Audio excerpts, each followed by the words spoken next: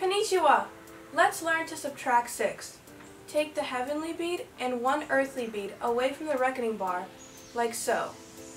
You can either pinch out using your index finger and thumb, or you can just use your index finger individually. You're doing really well working your way through the beetle skill. Let's take a look at subtracting the number 6 on the abacus. In the problem, 9 minus 2 minus 6 plus 5. Clear your abacus and enter the number 9 by pinching all the beads to the bar with your thumb and index finger.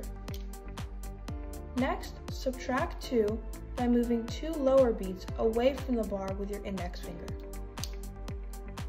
Now, we will subtract 6 from the 7 remaining on the abacus. There are two ways we can subtract the 6.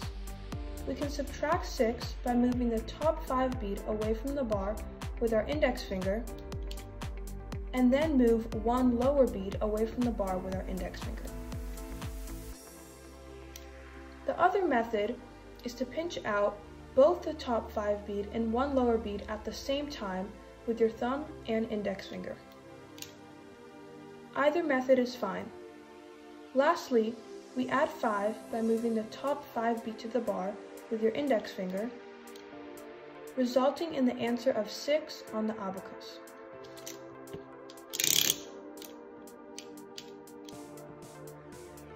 Now it's your turn to go practice subtracting 6 by running a Beetle 8 quiz.